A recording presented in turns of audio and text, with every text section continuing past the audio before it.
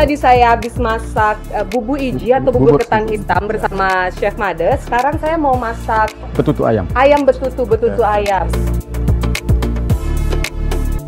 Soalnya kasihan Alex belum makan kayaknya. Tuh, baik kan saya?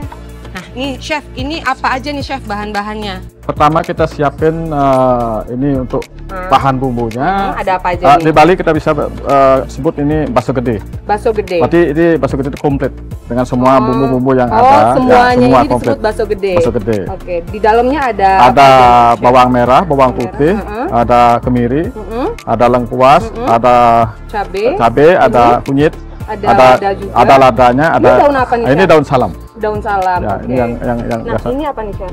Sama itu ya? yang sama, sama ini yang ini uh, untuk uh, nasinya nanti. Oh, penemannya, nasi, nasi, kuningnya. Oh, oh, Ini, i- ya. nanti kita berarti serve pakai nasi kuning Ya, ya? ini Oke. ini ini kita biasa sebut sunociko. Kita Oke. campur nanti dalamnya. Nah, ini sayurannya Terus apa ini sayuran nanti setelah jadi kita bisa rebus nih? Mm-mm. pakai sambalnya. Dimasukin ke Dimasukin sambal. sambalnya. Kalau ini apa? Yang ini bah, bah- bakso gede yang sudah jadi. Bakso gede yang sudah di- digiling ya. ya? digiling diulek. Nah, Terus yang ini apa nih chef? ini bumbu-bumbu yang biasa dimasukkan. Kita mau uh, goreng uh, bumbunya baru kita bungkus. Ya, untuk ayam sendiri ini kita menggunakan bagian dada Nah, ayam. bagian ya? dada boleh, bagian paha boleh. Kita kita uh, ayam pertama kita kita masukin uh, gula apa? Uh-uh. Asam Jawa. Asam Jawa. Ya di anu di di di, di uh, ulet gitu biar biar lembut terus isi minyak sedikit. Uh, Asam Jawanya diaduk dulu Ya, ya. Terus dengan ayam. Ini dengan apa ayam chef? itu uh, gula, ah, minyak. Oh, terus minyak. uh, pakai Minyak biasa ya. pakai ini kecap asin. Kecap asin, Ini uh, raja rasanya. raja rasa. Terus uh-uh. ada lada putih. Mm-mm, sama- lada sedikit. Eh, ini apa rasa ayam Kalau bumbu. misalkan lada putihnya banyak agak lebih pedas Nah, ya. pedas aja. Oh, Terus oke. kita ulat semua Mm-mm. ini. Ya, bisa kita diamin. Mm-mm. Terus kita siap Berapa lama nih chef harus kita diam? Boleh, biar, biar sehari juga boleh nggak apa. Yang Sehari penting penting apa-apa. masuk uh, waktu 15 menit boleh. Nanti Terus- untuk bumbu yang ini Bumbu yang ini kita panasin dulu. Ya. Masukin minyak. Boleh minyak kelapa.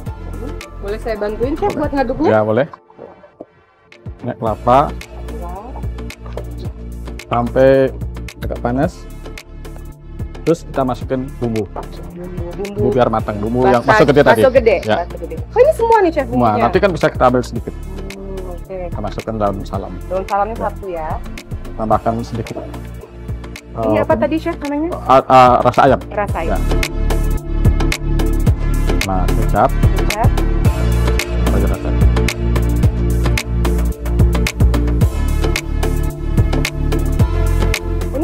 Berapa lama nih chef? Ini palingan Ya. 15 menit sudah jadi. 15 menit sudah jadi. Sudah bisa dimasukkan ke ayamnya. Oke. Bumbunya matang, Mm-mm, kita angkat. mm-mm. Taruh di bawahnya. Hmm, Oh kayak gitu caranya. Oh iya iya. Kita bumburin dikit biar tertutup dengan bumbu.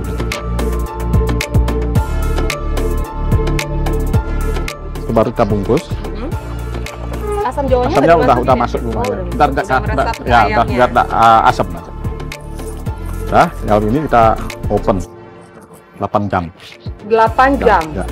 Wow, foodies. Untuk merebus atau pemanggangan ayam kita membutuhkan waktu 8 jam.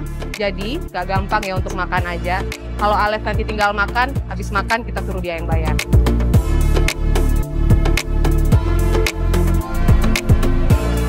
Nah ini dia tadi masakan yang sudah kita masak. Ini yang jadinya. Nih, Ini ada ada apa? Ini ada seromotan dan Seromotan. nasi Ini kuningnya. sayur ini disebutnya Disebut seromotan. Ya, kita Ayam betutu. dan Terus ada nasi kuning. ada, ada nasi kuningnya.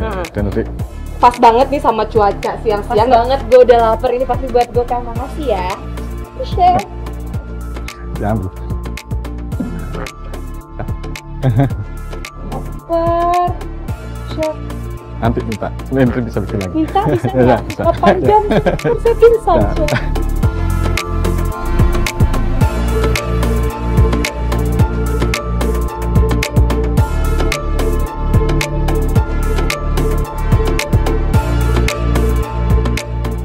Emang ya guys, paling enak tuh hidup pas-pasan. Pas banget gue lagi lapar, pas banget Kintan selesai masakin buat gue. Sekarang gue mau makan dulu.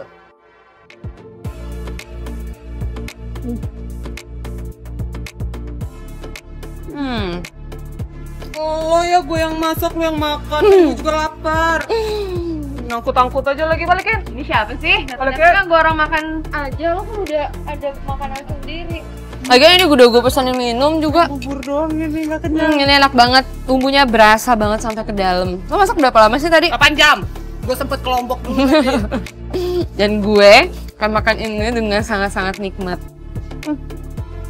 Udah suasananya enak di sini. Perut lapar, makanannya enak, dimasakin pula. Kurang bahagia apa sih hidup gue di sini? Kayaknya itu juga enak deh. Lagi sini. Itu dessertnya pasti juga buat gue kan. Gue tahu lo pasti sayang banget sama gue. Jadi, hmm, Again. Bagi ya, ya udah boleh dikit aja ya. bagiannya. Jangan banyak-banyak ya Mbak.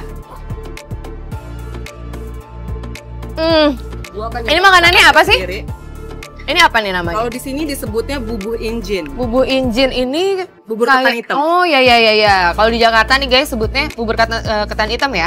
Ini bisa sebenarnya bisa pakai ini kan pakai santan. Mhm, Nah, mhm. sebetulnya bisa juga pakai es krim, Mhm. pakai kelapa parut. Hmm, Belum pernah nyobain kan lo? belum. Tapi ini enak banget sih, pas banget. Hmm, Pas jam makan siang.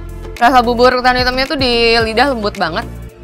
Ini tadi butuh perebusan waktu berapa lama? Oh Sama diri gue sendiri ternyata gue bisa masak. Nggak mungkin, ini pasti chefnya yang masak, lo cuma Enggak, liatin doang. enggak. Nggak mungkin. That's impossible. Ini lo pasti cuma liatin doang. Udah makannya enak, tinggal Hmm. makan, sekarang ngatain. Udah jangan banyak-banyak. Nggak usah lihat-liatin makanan gue, kenapa sih? Ya udah lah, makan bubur aja. Tapi sisain ya. Pasti ini, hmm, pasti ini Fudilan di rumah juga penasaran kayak gimana sih kira-kira rasa makanan yang kita makan karena ini emang enak banget. Buat kalian yang lapar kayak Ales, Mhm. Pokoknya buat yang liburan ke Bali harus banget datang ke sini ya. warung murni. Hmm, di sini emang banyak banget makanan enak di Bali dan warung murni ini adalah salah satunya nih. Udah makanannya enak, view-nya bagus banget di belakang kita. Makannya gratis. Ma-